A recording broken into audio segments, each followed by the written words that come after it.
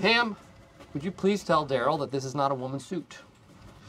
Oh my god, that's a woman's suit. You're wearing a woman's suit? No, I do. I I wear men's suits. Okay, I got this out of a bin. There were these huge bins of clothes, and everybody was rifling through them like crazy, and I grabbed one,